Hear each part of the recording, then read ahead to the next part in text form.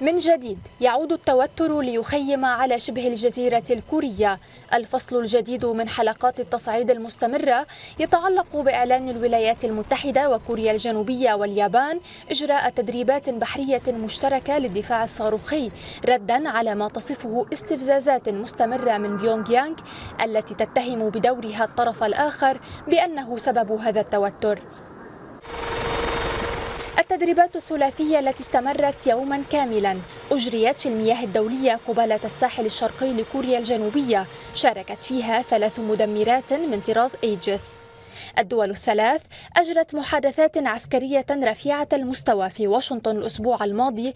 اتفقوا فيها على إجراء مناورات دفاع صاروخي ومضادة للغواصات على أساس دوري لمواجهة التهديدات الكورية الشمالية.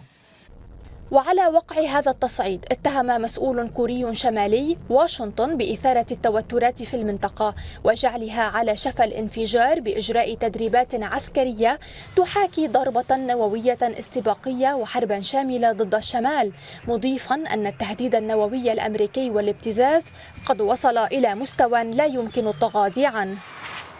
ولطالما كان ينظر إلى تطوير الأسلحة الاستراتيجية على أنه هدف رئيس لبيونغ يانغ ضد التهديدات الأمريكية إذ إن اختبارها صاروخا باليستيا من نوع جديد يعمل بالوقود الصلب يمثل تقدما تقنيا واستراتيجيا كبيرا لبرنامج بيونغ يانغ للتسلح ويمنحها قدرة أكبر على المناورة ويجعلها أكثر تهديدا.